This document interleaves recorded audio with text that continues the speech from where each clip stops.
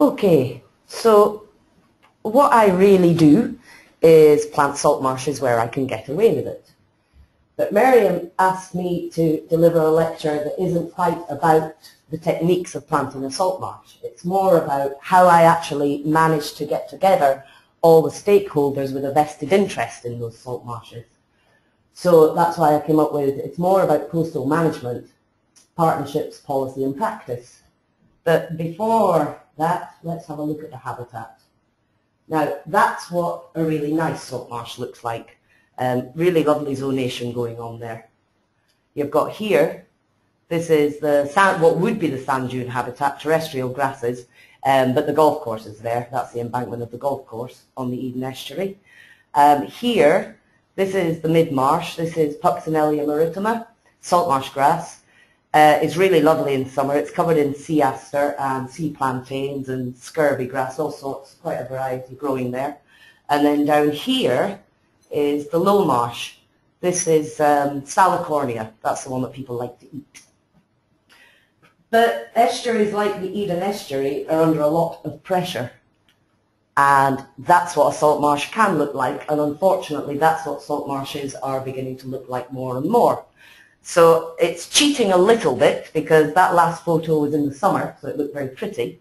But this one is in the winter. So this, there's the, there's the embankment. This is what you'd call the mid-marsh again of Puccinellia maritima, salt marsh grass. So in the summertime, you can imagine that will have flowers growing on it. It can look nice. But whether winter or summer, this is the low marsh. We should have a pioneer marsh here, and there's absolutely nothing growing there. And because that's all fragmented, died back, die, it dies back first, the vegetation dies back first, and then it begins to fragment. And whether summer or winter, nothing's going to grow on there. The plants cannot recolonize that. It's compacted, it dries out, it's too hot, basically. And in the winter time, when you get the most damage, there's an awful lot of turbulence going on. And all this can do now is start to fragment. It'll break up the turbulence is the, the water swirls round and round in somewhere like that. You can actually see this little lump here, lump of salt marsh there. And nobody has been measuring the rate of retreat. The last we got was in the 1990s and it was about a metre a year.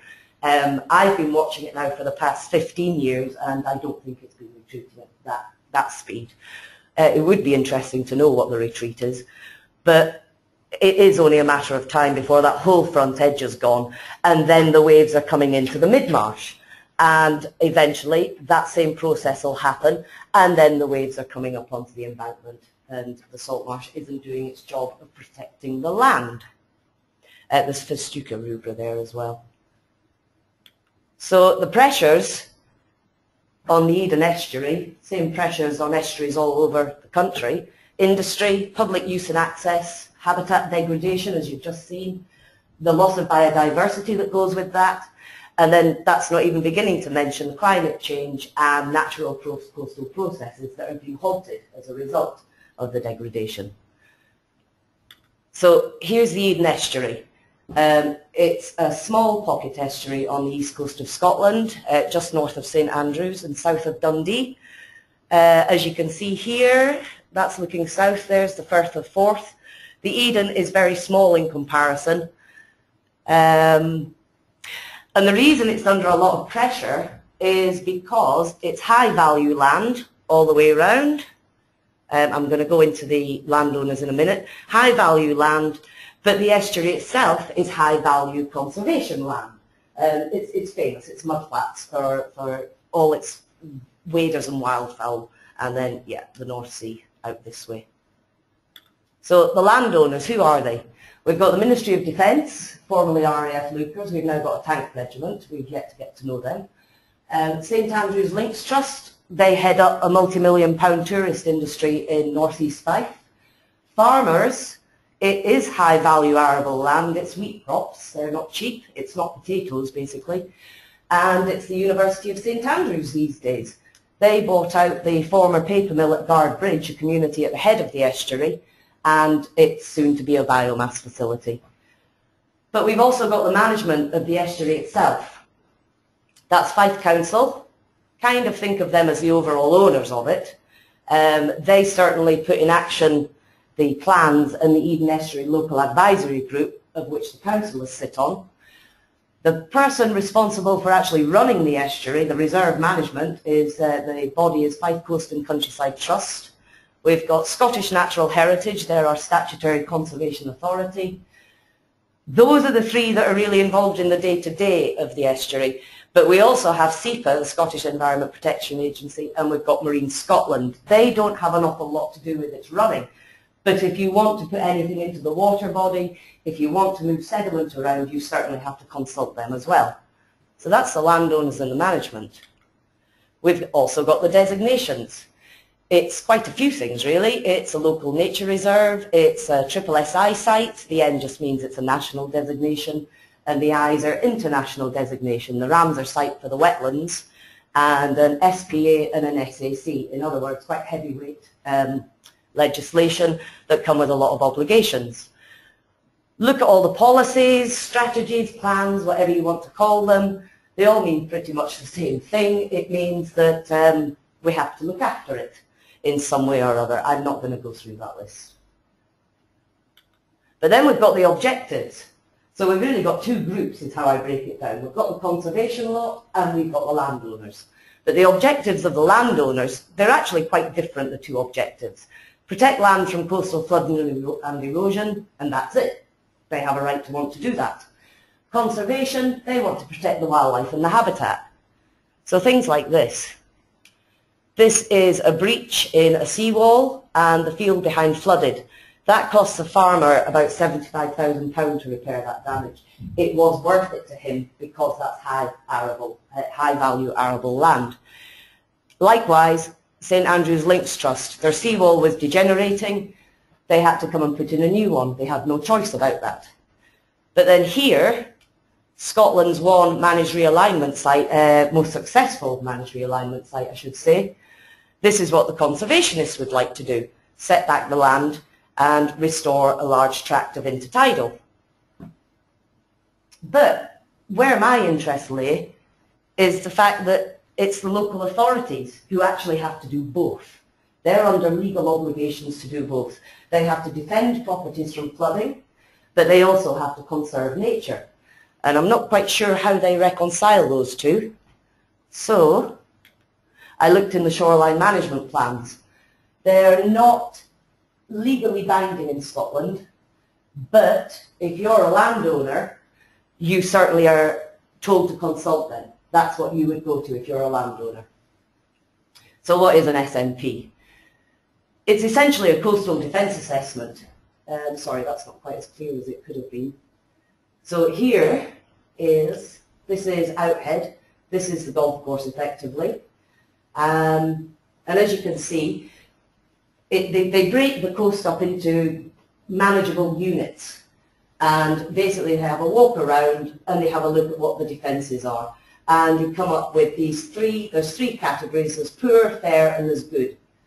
Um, and this is what the map of it looks like. And then it gives you a typical photo.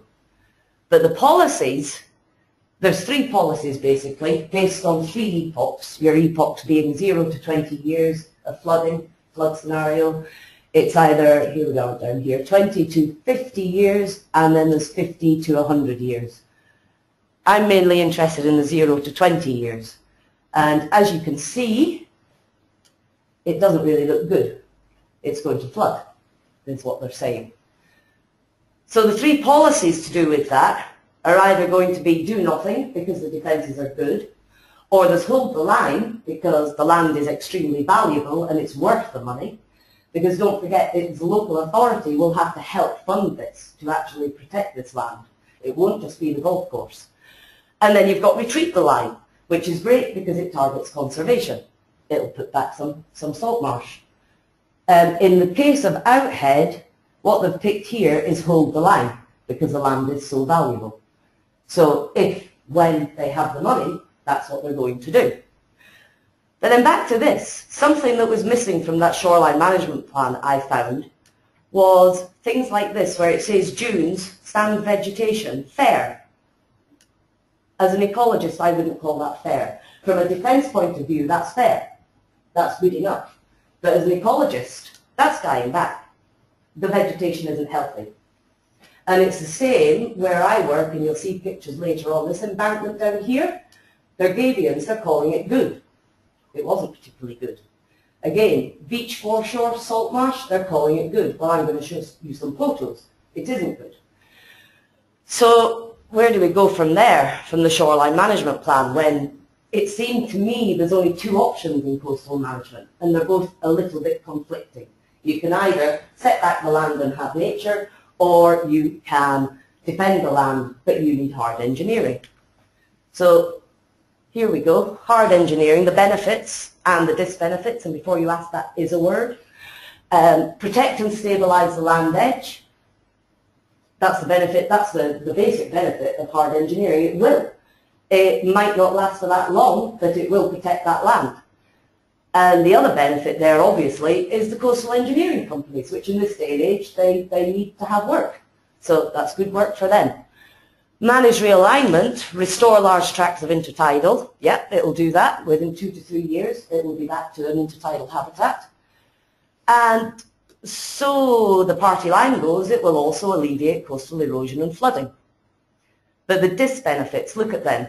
Loss of upper shore habitats, wave and tidal energy increase, shore profile lowered. That one's quite important because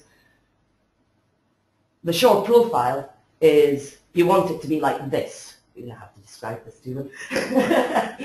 and it will slowly get lowered. And as it becomes lower, the actual seawall itself will start to get undermined. So you're going to have more energy, more turbulence going on there. You've got your sediment transport processes are halted. In other words, the shoreline will become starved. Um, that means no plants can grow there. Coastal squeeze, the big one we all know about. Habitat migration, if it wants to go back, it can't. Formation is halted. Um, and basically it'll start to erode if it's in the vicinity of that seawall. We know this.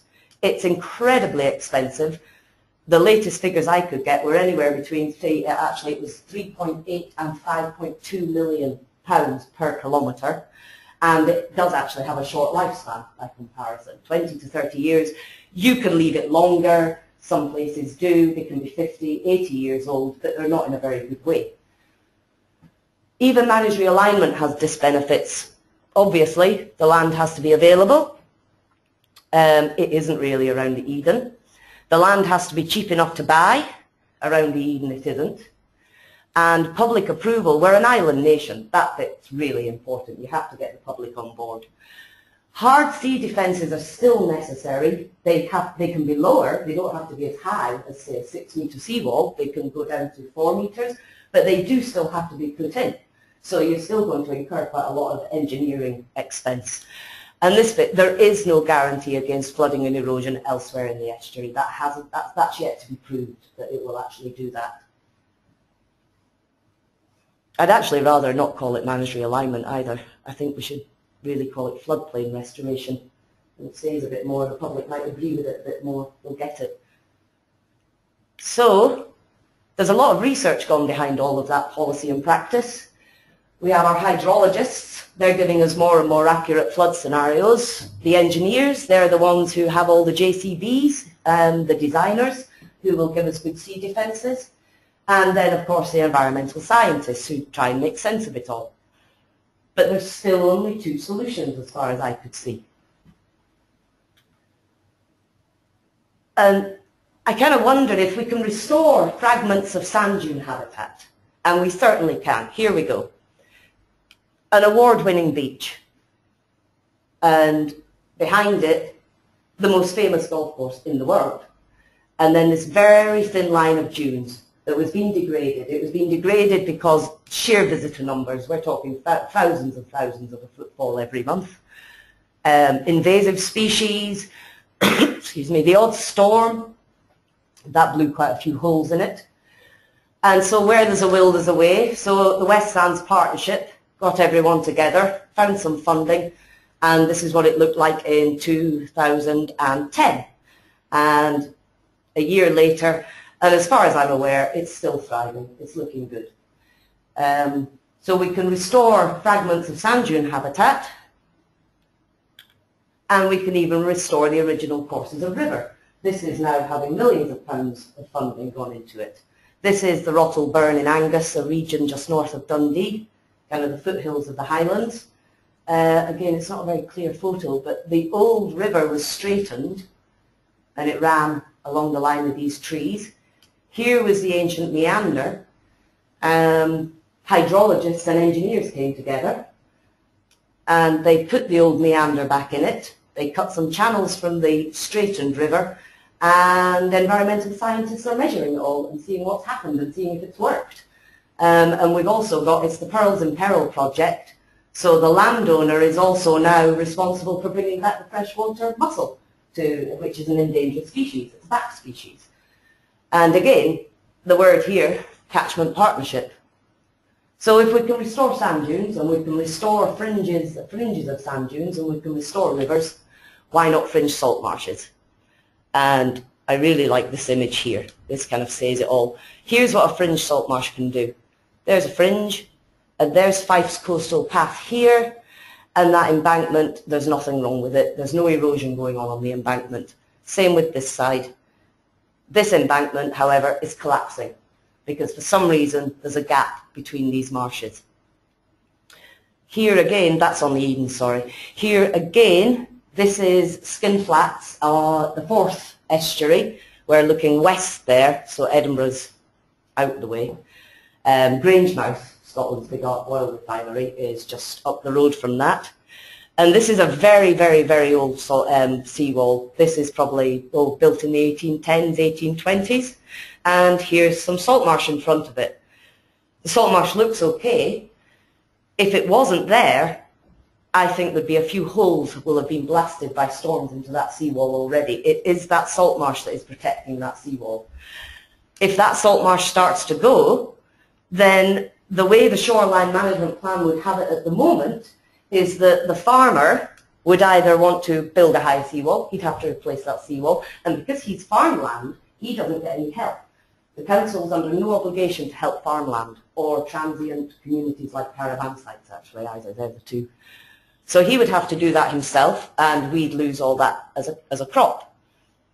The conservationists would say, well, just let's flood that. Let's get rid of that wall and flood it all. But the minute you do that, and we've seen it up in Nigg Bay, a realignment site up in, up in the north, um, you will, any remaining salt marsh on the edge will just disappear. Um, as Okay, so you, you replace it inland. But I kind of can't help but wonder, but why wouldn't we try the easy option first, the cheaper option, which is simply to manage this fringe in the same way we will manage fringes of sand dunes? If the salt marsh is present, and this is from the research, we know there is nothing inherently wrong with the environment, at least not at the moment. We know that at the moment, certainly in Scotland, salt marshes can keep pace with sea level rise. And more than anything, it's been done before and it worked. How's it been done before? It goes right back to the 12th century Anglo-Saxon chronicles. They knew that they, yeah, they knew that they could plant salt marshes on mudflats. So 800 years ago they knew they could do that to claim some land back. It was also then, you'll all have heard of Spartina anglica. It's kind of a bit of a big baddie in the plant world. Nobody likes it. I can understand why they don't like it. It's uh, invasive. It will outcompete native plants. It chokes ditchways. It can basically run rampant over a mudflat. And when you've got a high value mudflat like the Eden Estuary, nobody wants that. So here it is, 1948. It was planted by a, oh, I beg your pardon. In 1948, it was planted by a botany professor, Professor Graham at the university here. And here it is in the 1980s, flourishing.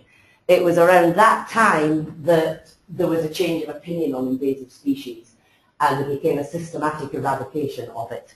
So it disappeared, and we certainly can't use that or plant that anymore. We would be shot.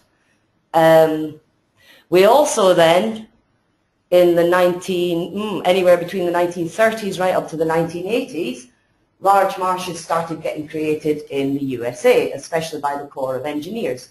And here's one. This was planted in 1974 and this is it in 1995, so it's about 20 years old, 21 years old there. And I Google mapped it recently just to find out if it's still there, and it is still there and it's still flourishing. And if you have a read of the paper, you'll find out that that is actually fairly exposed. This is Chesapeake Bay. It is a fairly expo exposed area. So was, if they can do it there, why can't we do it? We have done it. We've done it. Direct planting is sometimes used in managed realignment sites, so we know a little bit about it. We use it in mitigation policies. Uh, so the main thing for us up in the Eden was can we find an alternative native salt marsh species that can do the same job as Spartina anglica? And that was where the research came in. So I am just racing through this bit really. Trial plots of different species, planting times and densities.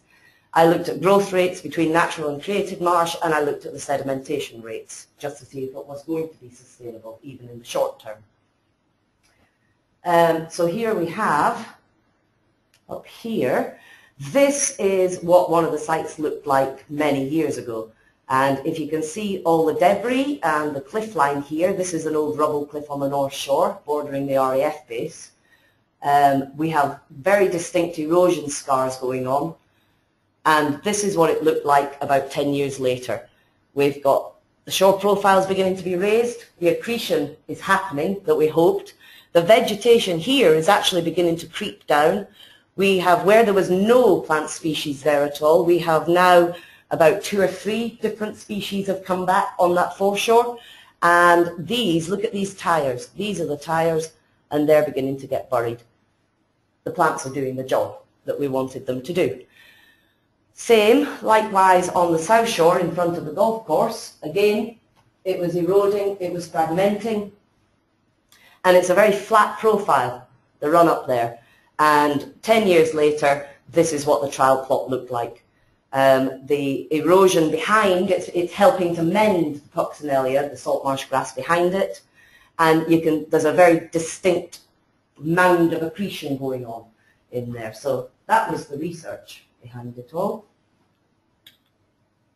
So that led to the first partnership.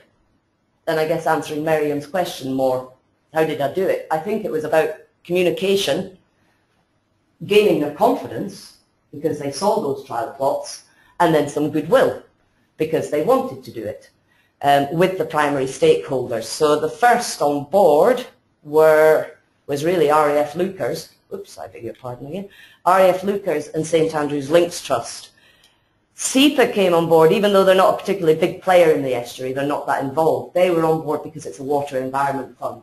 And there's, there's a lot of nasty things in the old dump site on the north shore of the estuary. So they were concerned about that getting washed out into the water body.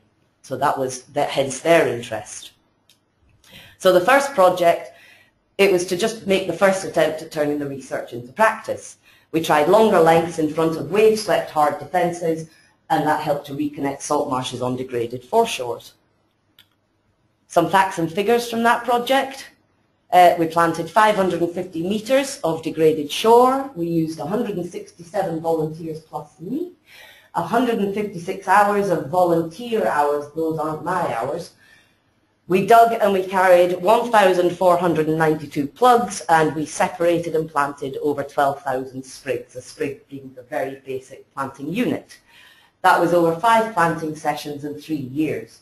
Um, whoever did the counting for me on the last planting session was the one that got the 614, which I thought was a bit OCD, but never mind. It was interesting to know. And here's the happy volunteers. Some, this is who you need, university students, Scottish Wildlife Trust digging, more students digging.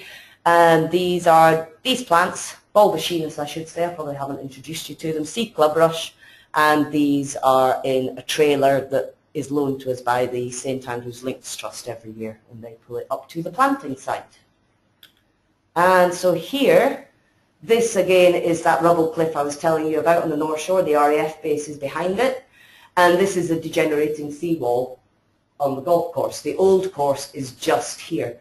So, so as I said, the most famous golf course in the world is in danger, is right behind that wall there. Again, Scottish Wildlife Trust volunteers planting it for me, and here's some greenkeepers planting it for me. By then, they'd mended their seawall, um, so that was good. uh, we, we kind of worked together as they came along and mended the seawall. I came behind them and planted a marsh. And that was over three years we did that. And this is the North Shore. That's what it looked like immediately after planting. The photo, that's just a flip of that. And that's what it looks like in summer. And it's very pretty, isn't it? Um, I'll show you the next one before I say any more. This is the South Shore. Again, doesn't look much, whoops, beg your pardon, doesn't look like much when you first plant it, but that's what it'll start to look like in April and May. Um, yeah, there's other, there's a lot of other facts and figures in there. It doesn't always look like that. There is such a thing as smothering in the summer, which will kill some of them off. There's what we call the washout rate. That happens every winter. Um, you have to calculate for that washout rate when you're planting. You try to minimize that by having very high density and by making sure they're very well planted in, they're dug in. But at the end of the day, even sand dune planting and um, contract planting in the States advise not to promise any more than 50% um, success rate. I was very lucky with some of my areas. I got more like 80% rate, but not every, but as a, winter, as a winter comes and you get a storm, you might lose some more, so then you have to go and patch it up. It's a rolling program, is what I'm beginning to find. So that led me to the second project, Salt Marshes on the Fringe, and it's twice the money in half the time, unfortunately. But I'm quite certain, because there's a will now, because I've got so many volunteers on board, because all the stakeholders want to be involved, involved we should be able to get it done. And this time it's even more ambitious. Here's the rubble cliff, the original trial plots in the rubble cliff. That's it on the south shore. And this is what I'm attempting to do now. These long stretches, Guardbridge and Cobbleshore Embankment are over a kilometre long. I'm not promising to plant all of that. We are putting trials in. We're putting small areas and seeing what happens there. And the second load of funders on board are the Scottish Natural Heritage and Fife Environment Trust. So it's kind of back to Miriam's original question, how did I do what I did? You need, coastal management needs appropriate funders. You're not going to get that just from research, and you're not going to get commerce either. So it has to be a bit of a mixture. So how were they persuaded, this mixture of funders? Because we did research, and that proved it.